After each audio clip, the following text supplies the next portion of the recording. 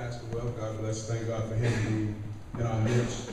Amen. And we're going to begin, and I'm going to let me read this in case, in case seven less saying seven minutes maximum, no minimum.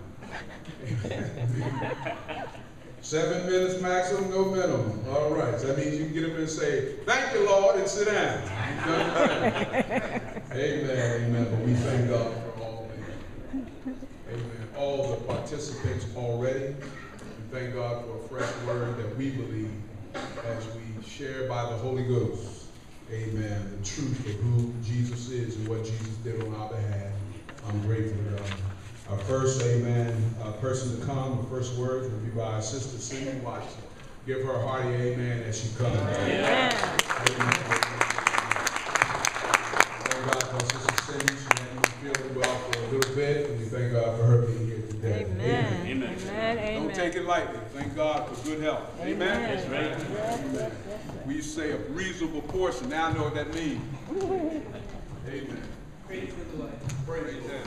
Bless you. My word uh, for this evening is coming from Matthew chapter 27, verse 26, which states, In about the ninth hour, Jesus Christ cried with a loud voice, saying, Eli, Eli, lama sabachthani. That is to say, My God, my God, why hast thou forsaken me? In the Gospel of Matthew, we're not told the time of the crucifixion, but are told in the Gospel according to Mark that it began the third hour, and that's in Mark 15, 25. And it was the third hour, and they crucified him, which was around 9 a.m.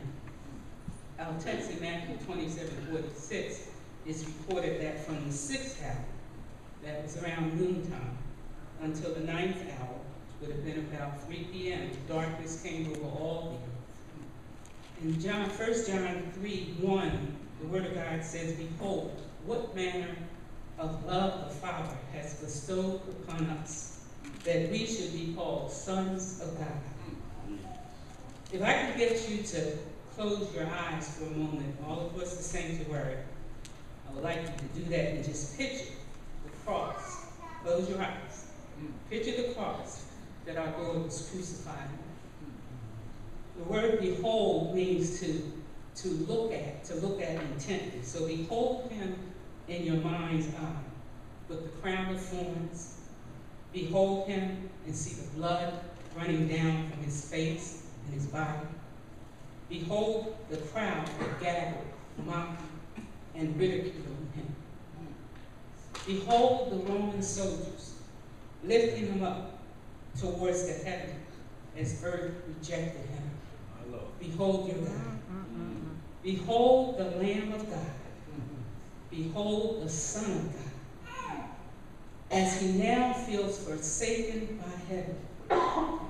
Behold him as he feels forsaken by God. He now feels without a sense of the presence of God.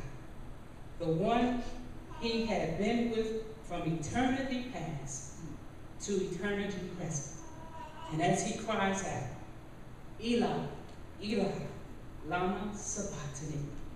That is to say, my God, my God, why hast thou forsaken me?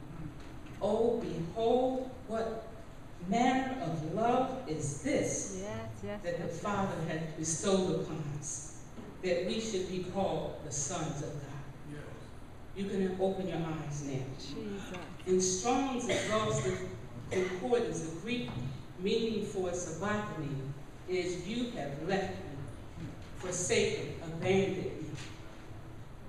This reveals the truth of Christ's human nature, that he had a human soul, and he had endured sorrows and sufferings in it, of which this, the feeling of desertion, was among them.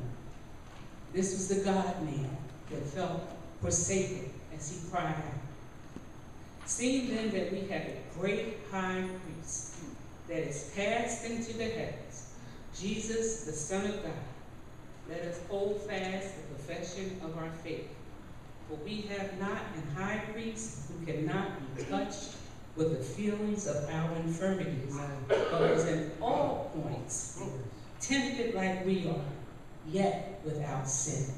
And that's in Hebrews 4, verses 14 through 15. Jesus was fully God mm-hmm. and fully man. Yes. Jesus cried with a loud voice, as in great distress. Having been silent during the three hours of darkness, and ending with a loud voice, he cried out, shouted out. It was the sound of a scream, a roar, if you will. He endured the pain. Who for the joy, who for the joy that was set before him endured the cross Yes. despising the shame. And that's Hebrews 12, 2b. He was patiently filling his soul with the terrible sense of the wrath due to the sins which he was bearing, your sin and mine. Oh. Under a sense of divine wrath Yes. and a most distressing sense of God letting loose the powers of darkness upon him. For he had made him to be sin for us, Yes, who yes, yes. knew no sin, Mm. that we might be made the righteousness of God in him. 2 Corinthians 5:21.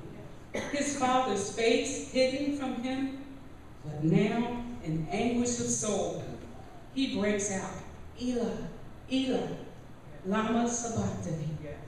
That is to say, my God, my God, why hast thou forsaken me?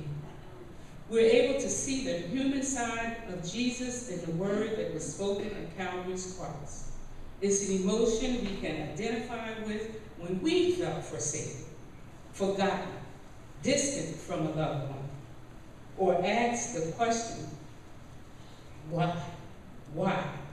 Of the individual, whether it be um, our spouse, whether it be uh, a child, whether it be a neighbor, whether it be a close friend. We can all identify with this feeling of being cut off or feeling empty inside.